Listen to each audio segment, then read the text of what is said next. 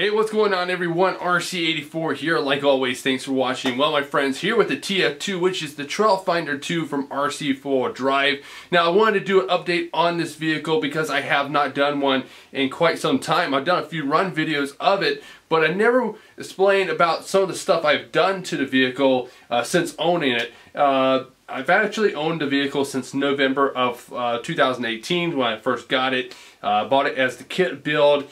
And at the time that I actually ordered it, uh, Hurricane Florence uh, was striking southeastern North Carolina, so it kind of put a delay on getting here. So it took two more weeks for it to get here, so not a big problem. But um, since the last time I showed the truck, pretty much was the uh, the build process of the vehicle. I have not showed all the uh, other things I've done to it. I've done a lot of uh, cosmetic stuff. I've done a lot of scale parts and uh, some wheels and tires and so a bunch of other stuff. So I wanted to go through and talk about the vehicle, what I actually did to the TF2, which makes it look so awesome. So let's take a little closer look at it, all right? So here's a close-up view of the TF2. I am very satisfied at the job I've been doing with this truck and scaling it out. That's pretty much the fun part about this truck is that you can uh, do so much customization. It's like putting a model together that actually runs, and that's what I like about this thing. So I want to talk a little bit about the truck. So uh, I'm going to talk about what I did with the paint and the body, the scale accessories, talk about the wheels and tires, and some of the other uh, performance upgrades that I made to the vehicle. So Start off with the paint. I did this in an antique metallic gold with a matte clear over it. I wanted to give this uh, vehicle a dull paint look because I wanted to go with the theme I was going to go with, which was a like a 1980s theme. And if you think the 70s, 80s, usually the 70s was all about the gold and wood grain and stuff. And so I really wanted to go with an antique old look. And the, definitely this metallic, uh, the antique metallic gold uh, looks very nice, laid out pretty well. Uh, so another thing I did is I went back and I did some custom pinstriping here, did some uh, silver and black pinstriping all the way down and on the door here as well. Uh, following along to the back as well. So let's turn it around since I can do that and it just looks so awesome. Uh, it, I always call it the farm truck because that's what it looks like to me. It's something like you have on a farm there. But uh, yeah, all right, so let's get back to it. Now, uh, let's talk about some of the scale features I added. Of course, you see this uh, tow rope here that I actually use to kind of pull myself out sometimes when I get stuck. Some of the other guys will help me out on that. Uh, a lot of scale stuff I put on here. Uh, so let's talk about the bed here, right? And we'll walk into the cab here. Lot of scale little parts here in the back. Um, if I can get the camera to focus. So I got the uh, toolbox from Home Depot, which is actually just a gift card holder uh, that you can get at Home Depot, and I use it as a toolbox. I really like that. As you see, I have the RC4 Drive roll bar here. Really like that. Uh, I actually put some lights on top of it. Not working lights. These were lights I had off of a toy RC and uh, they fit on there pretty well and it, it just looks so cool. Uh, talk about some of the other scale uh, accessories I have. Little toolbox, uh, tool, toolbox or a little tool band thing. Uh, the Coca-Cola bottles, if I can get the camera to focus. There he goes uh, wood, uh, wood pallet that I actually made myself and I'm going to do a video uh, talking about how to do that. It's fairly easy and fairly cheap. Uh, did the gun rack right there so you see the gun. Uh, as you see there's a dashboard in there along with the driver so let's get to that. Let's see. Alright. So I did replace the uh, the dry the, uh, the dash uh, dashboard. I went with the Tamiya Bruiser uh, interior. So it has the seats along with the floorboard and the uh, the dash. I don't know why I can't pronounce that right. Then I also did the uh, scale driver here. I like to call him Hank. This is old Hank here. He is the driver of the vehicle.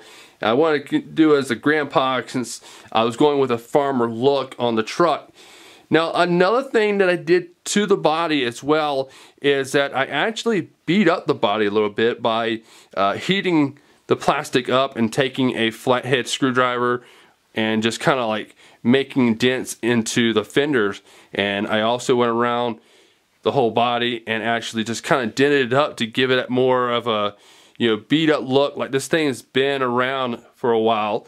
So just the small little details that I did to the truck.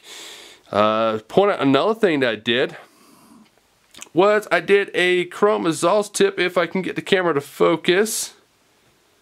Yeah I might have to switch over to manual mode and do this part right here. Let's see Let's see if I can get it. Can I get it? Come on, manual mode. There, there, come on. Come on. There, well, there. So I made my little exhaust pipe out the back here. And this is actually a toilet supply line that goes on your toilet that supplies the water to the tank on your toilet there. Uh, reason why I choose to do these is because they're very flexible. You can bend these in all types of different ways. And so that's what I did. So I did it halfway through the truck and uh, just looks pretty cool. Plus also it's real easy to bend this stuff so when I hit a rock or something like that it'll actually you know bend and stuff like that. So that was a cool thing that uh, I thought was really cool that I did with that. Alright, so I think that covered pretty much the outside of the body. And it switches back into automatic mode here. Alright, Let's talk about wheels and tires. All right, wheels and tires. I actually have upgraded my tires from the Mud Thrashers uh, to the 1.55 Boom Racing Hustler MTX. These are super awesome tires, as you can see. Pretty aggressive tread, but also keeps that scale appearance. That's one of my biggest pet peeve was when I was looking for tires, I wanted tires that were scale but also perform. Now, I'm a big fan of Super Swamper TSLs. Uh, I love those, but they really didn't fit the whole factor of scaleness. And definitely, I think the Boom Racing uh, Hustler MTX. Uh, these are the baby crawlers. They have them in two different two different sizes, and these are the baby 1.5s. And I really like these tires. They do extremely well in all types of terrain. Uh, definitely grips the rocks a lot better. Uh, going through the mud and your stuff, it's just a great tire. They're also made of slime snail or snail slime or something like so they're very sticky and stuff and they are I also changed out the wheels I went with a pair uh, well a set of the Boom Racing Steely wheels uh, so it gives you that old uh, classic steel wheel. These are actually three-piece beadlocks, and uh, they're just super awesome. As you can see, they look a little rusted and everything. They actually came out like uh, like a steel color, and I guess the clear coat has finally popped off, and so it started actually rusting. So it's not really steel. It's more like a kind of like a stamp aluminum, I guess I want to say. But it also added a nice detail to the truck. And that's what I really like about it that uh, it's like all natural well, well, weathering. So I didn't have to do anything to the rims. They just kind of did it themselves and I like that. Alright uh, let's see. What other stuff did I miss back here? Of course my little antenna right there. And uh, in the interior got a coke bottle sitting right there on the thing.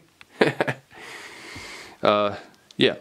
Alright, so let's go ahead and pull the body shell off and talk about the electronics and all that, alright? Alright, once the body shell's off, let's talk about the electronics and all that's in the vehicle.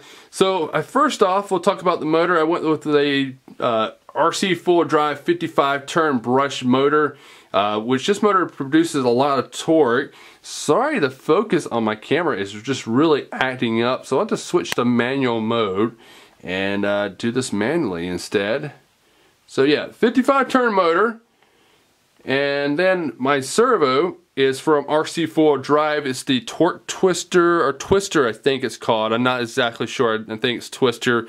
Not exactly sure on how much torque it puts out, but it's good enough for me.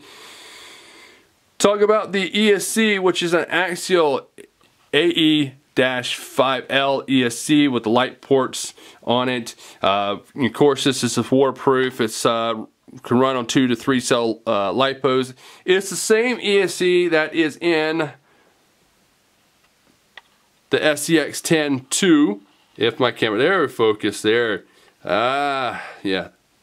I have to do a video on that because I've done a lot of stuff to that as well. But back to the TF2.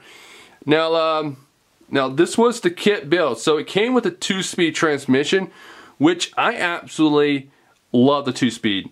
Uh, something about the two-speed, I feel like I just have more capability. I feel I have more control ability over the throttling and the maneuver of the vehicle. I just absolutely love it. Some people hate two speeds, but I absolutely love the two speeds. Uh, let's talk about the uh, the, uh, the servo that uh, works to two speed. This is a Savox, Savox. Yeah, there goes my phone. Savox uh, SV0320. Uh, not exactly sure on the uh, on the amount of torque on that one, uh, but it is good enough to switch to gears for it. Uh, talk about some other upgrades that I also did to to the truck. Let's see. First off, we'll do the uh, I did the low clearance skid plate from uh, RC, not from Doghouse RC. Let me see if I can bump up some of the quality there so you can see it. So yeah, definitely one of the smartest things that I did on the truck because the stock one would actually catch a lot of rocks and stuff. And so by doing a low clearance one, you don't really have to worry about that. Uh, some other things I did was the uh, reverse shackles here on the on the rear. These are from uh, Dollhouse RC. No, yeah, Doghouse RC. Trying to think, uh, which helped it out a lot better. Also did the O-ring mod on the uh, on the axles there to uh, give a little more flexibility to it. Uh, not hard to do, pretty simple. Uh, but over other than that, actually, guys, everything is completely stock. Stock, you know, stock links, stock. Um, stock dry shafts, you know, the, you know, the leaves are stock, you know, the shocks are stock. So pretty much everything is stock. I have not done anything else to it, but honestly, I like the vehicle where it is now. Uh, I don't care to mess with it if I can get the camera to focus. This camera is getting... All right, all right there we go. All right. So, uh, but like I said, I'm fairly happy with the vehicle. Uh, I usually don't do too much upgrades to mine. I figure my vehicle out. I guess it's because I've been in this hobby for long enough. I know how to drive my vehicles and I know the capability of what they can and cannot do and all that good stuff.